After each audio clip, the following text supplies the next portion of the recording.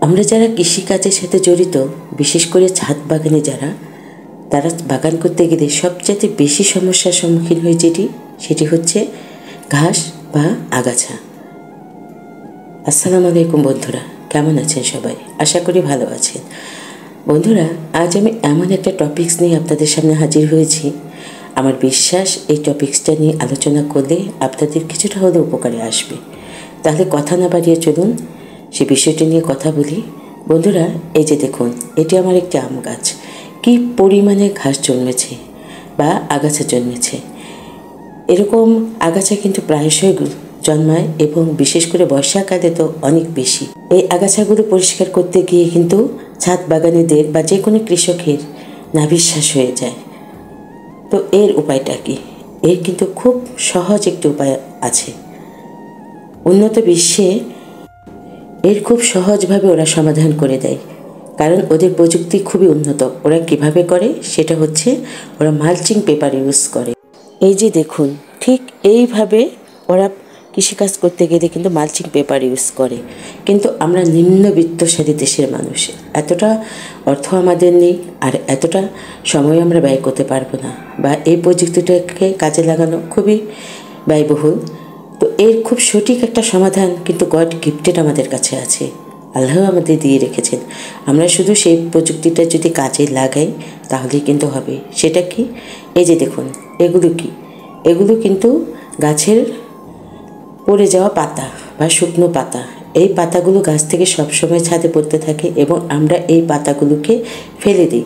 কিন্তু এই পাতাগুলোকে ব্যবহার করে আমরা কিন্তু খুব সুন্দরভাবে মালচিংয়ের কাজটা করতে পারি। শুধু মালচিং না বন্ধুরা, এই প্রযুক্তিটা আমরা যদি প্রয়োগ করি, তাহলে তিনটা উপকার আমরা পাবো। এই যে এইভাবে, এটি দেখুন, এটি আমার একটি কটলেবু গাছ। এই কটলেবু গাছের এই গোড়াতে কি পরিমাণে আগাছা জন্মেছে। এখন আমি যদি এইভাবে আমার ছাদের যে পরিত্যক্ত পাতাগুলো, সেই পাতাগুলো দিয়ে গোড়াটা আমি ঢেকে দিই, তাহলে কিন্তু বন্ধুরা আর আগাছা জন্মাবে না।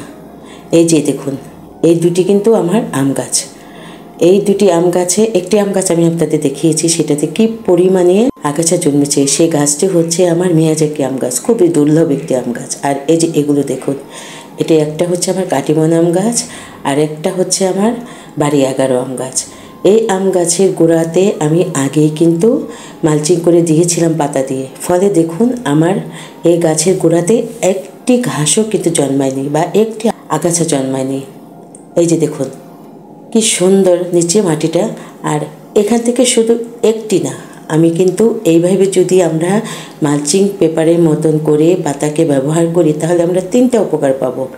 একটা হচ্ছে, আগাছা জন্মাবে না দ্বিতীয় হচ্ছে, সামনে যেহেতু খরার মৌসুম বা চৈত্র মাস, প্রচুর পানি দিতে হয় গাছে, বিশেষ করে ছাদ বাগানে তো প্রচুর পানি দিতে হয়, দুবেলা পানি দিতে হয়। কিন্তু এইভাবে যদি আমরা পাতা দিয়ে মালচিং করে দিই, তাহলে কিন্তু আমাদের এই মাটি, এই ড্রামের যে মাটিগুলো, সেই মাটি কিন্তু আর্দ্রতা অনেকটা বজায় থাকবে, ফলে কী হবে? গাছে পানি দিতে হবে কম। এটা একটা দ্বিতীয় বেনিফিট আর তৃতীয় যে বেনিফিটটা আমরা পাবো, সেটা হচ্ছে এই পাতাগুলো পচে একটা উৎকৃষ্ট মানের কম্পোস্ট সারে পরিণত হবে, যেটা আমাদের গাছের খাবার। তাহলে বন্ধুরা দেখুন, আমাদের হাতের কাছে কিন্তু গড গিফটেড এমন একটা জিনিস আছে, যেটার দ্বারা আমরা কিন্তু তিনভাবে উপকৃত হতে পারি। একটা হচ্ছে মালচিং পেপারের মধ্যে ইউজ করে আমরা গাছের দমন করতে পারি। দ্বিতীয়ত, পানি কম দিতে হবে, সেই সেচ ব্যবস্থা নিয়ন্ত্রণে থাকবে। তৃতীয়ত দ্বিতীয়ত আমরা কম্পোস্ট সার পাবো, যেটা আমাদের জৈব সার কিনে আনতে হয়, সেই সারটা আমি কিন্তু এইভাবেই পেতে পারি।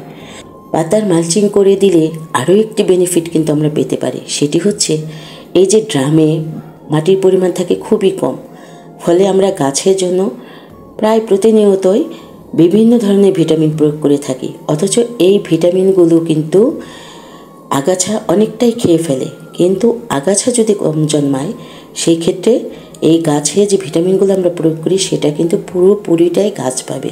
এখানে কিন্তু আমরা অনেক বড় একটা সাপোর্ট পাবো। তাহলে বন্ধুরা, আমার এই তথ্যটি দ্বারা আপনাদের কোনো উপকার আসলো কি?